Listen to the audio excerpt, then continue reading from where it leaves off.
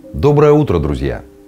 Очень важный в православном календаре день сегодня – Сретенье. А в народном календаре он означает встречу зимы с весной.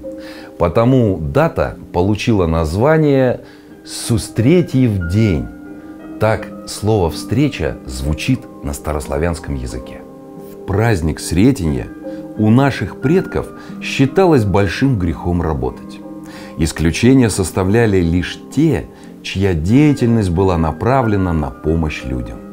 А еще сегодня требуется соблюдать ряд запретов. Главный из них – не ругаться и не говорить бранных слов. Также нельзя пить спиртные напитки. Кроме того, под запретом все домашние дела – уборка, стирка или глажка белья. Считается, что вода в Сретенье обладает почти такими же свойствами, как и на крещение, то есть является целебной.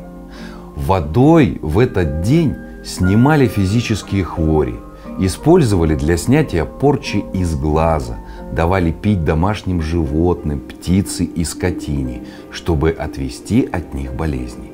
Брать такую воду сегодня можно из любых источников. Какая погода на Сретенье, такая и весна будет. Так считали наши предки.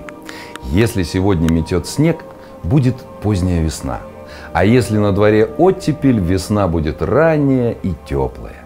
Если свирепствуют морозы, то и весна будет холодная и затяжная. Ясный закат говорит о том, что морозов больше не будет. До свидания, друзья. Увидимся завтра.